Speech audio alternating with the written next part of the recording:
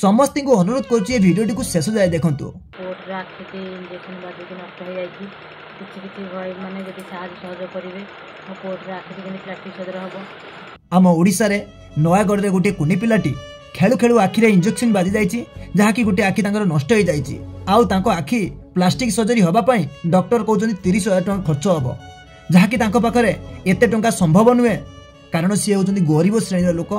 ଆଉ ଉଧାର ଧାର କରି ସାତ ହଜାର ଟଙ୍କା ଭିତରେ ସେ ରେଡି କରିଦେଇଛନ୍ତି। ମୁଁ ବି ମୋ ସକ୍ଷମ ଅନୁଯାୟୀ ମୁଁ କିଛି ସାହାଯ୍ୟ କରିଛି। ଆଉ ଆପଣମାନଙ୍କୁ ବି ଅନୁରୋଧ କରୁଛି ଆପଣମାନଙ୍କ ସକ୍ଷମ ଅନୁଯାୟୀ କିଛି କିଛି ସାହାଯ୍ୟର ହାତ ବଢ଼ାନ୍ତୁ।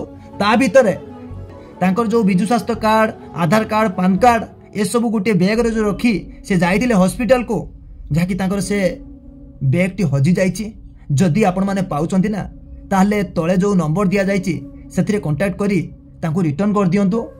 ସମସ୍ତଙ୍କୁ ଅନୁରୋଧ କରୁଛି ଏ ଭିଡ଼ିଓଟିକୁ ଯେତେ ପାରୁଛନ୍ତି ସେୟାର କରନ୍ତୁ।